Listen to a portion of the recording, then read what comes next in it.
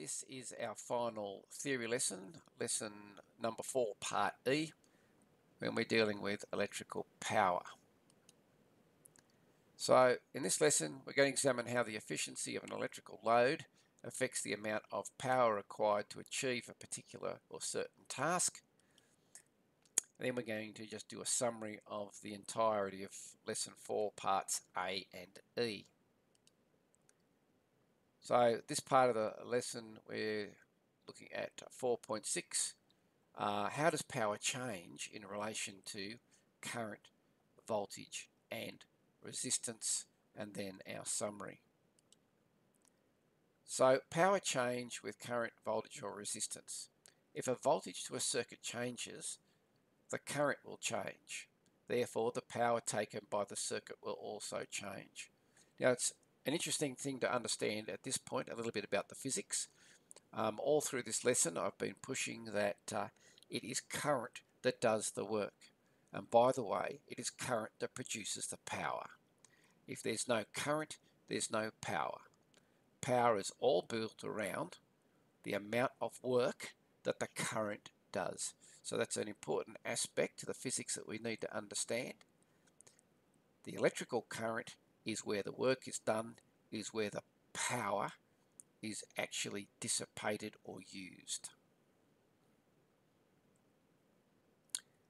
The next set of slides we're going to explain much of how power changes. So the effect of power if the voltage changes. So we're going to look at power from a voltage perspective. Of course, the power does not change directly because of the voltage. If the voltage changes, therefore the current changes, therefore the power changes.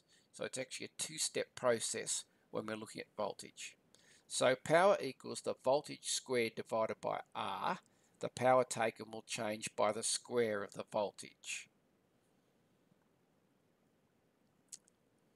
So if the voltage changes to twice its normal value, the power increases by four times because 2 squared equals 4. So if the voltage goes up, the current's going to go up exponentially, therefore twice as much power is going to be produced. So if the voltage changes twice its normal value, power increases four times. So if voltage goes up double, then power must go up by the square, which is 4. If the voltage falls to half its normal value, then the power will fall by 4 times or divide by 4. Same applies, whether it's up or down, we're going to have this squared relationship between voltage and power because of what the voltage does with the current. So here's a simple little example of the effect of power if the voltage changes changing the applied voltage from 5 volts to 10 volts in a 10 ohm resistive circuit. So we've got a resistor. It's going to pump out some heat as a result of passing a certain current through it. So in our first example, I'll just turn the pen on. We've got 5 volts. So here's 10 volts. So 5 volts is about here. We've got 5 volts going across the resistor. We don't need to directly know what the current is, even though it is the current that's going to be pumping out this heat. So we know our formula that power equals V squared divided by R, so 5 squared divided by 10. It's going to be 25 divided by 10 and we're going to be putting out 2.5 watts. So, but what happens now if we double the voltage? So over here, we've now doubled the voltage, we're up to 10 volts. Same 10 ohm resistor, and you can see we're putting out a whole heap more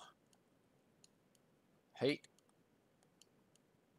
and in theory we should be putting out four times the amount of heat. So let's do the math. The power equals voltage squared divided by R, so 100 squared divided by 10 gives us 100 divided by 10, and we've got 10 watts of power. And we've got an increase here of times 4. So the power has gone up by the square. So I've got 4 times the power by doubling the voltage. So the voltage gone up by 2, but the power has gone up by 4 because of the squared relationship.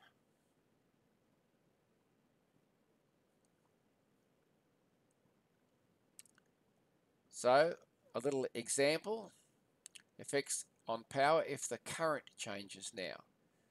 Because power equals I squared R, power taken will change by the square of the current.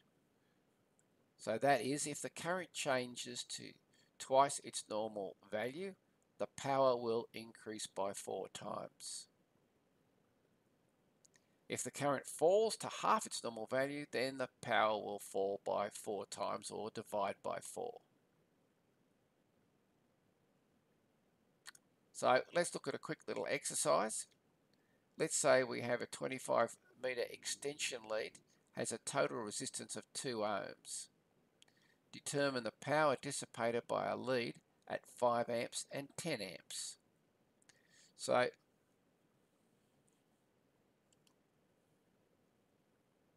here's our little example. Here's our equation. Power equals I squared R.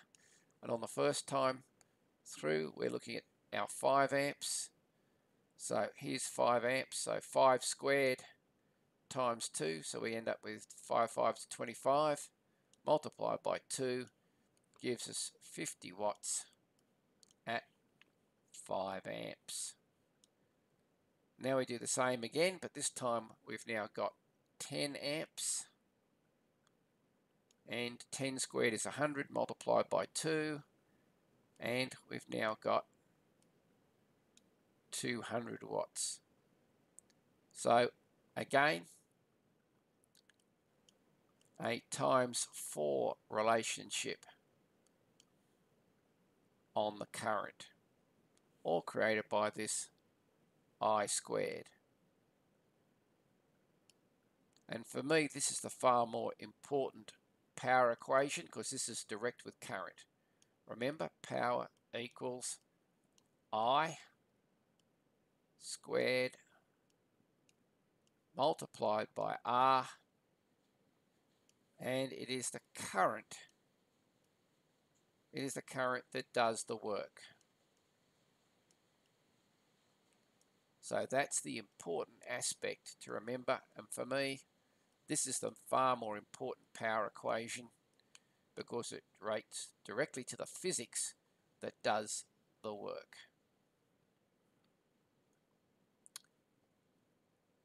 So effects on power if the resistance changes.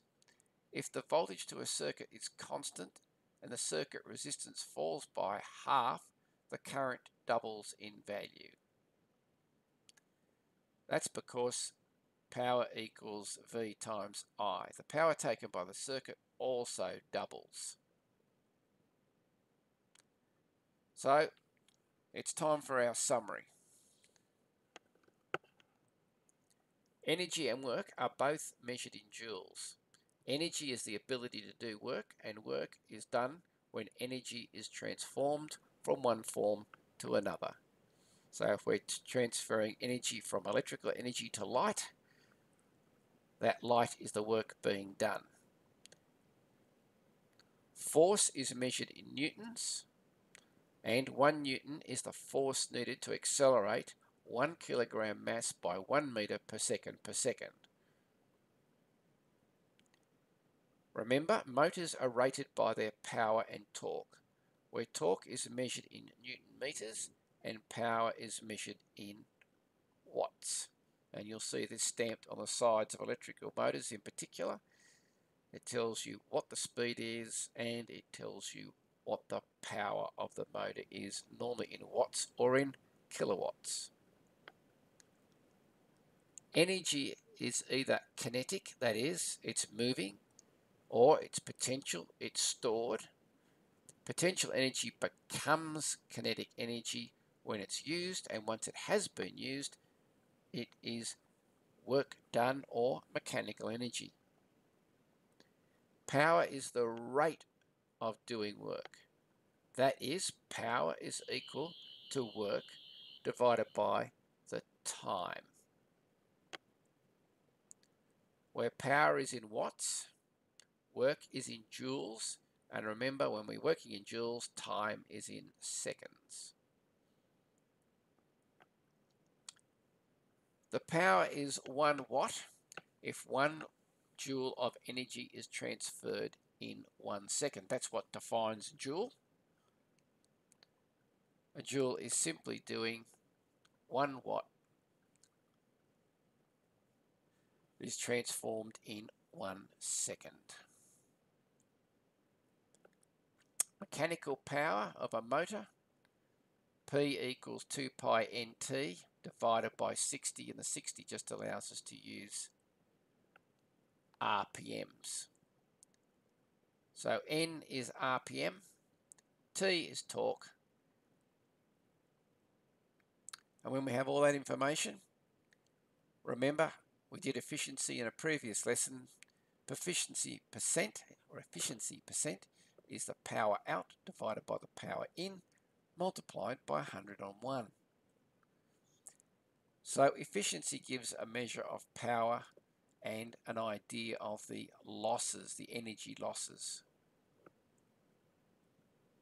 Electrical power to a load equals the product of the current in the load and the voltage across the load. Product just means multiply. So power equals the voltage multiplied by the current.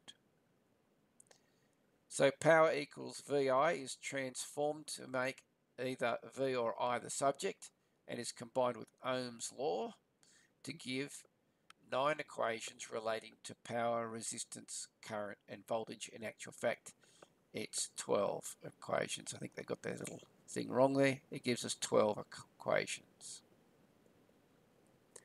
Power equals V squared on R means power changes by the square of the voltage change.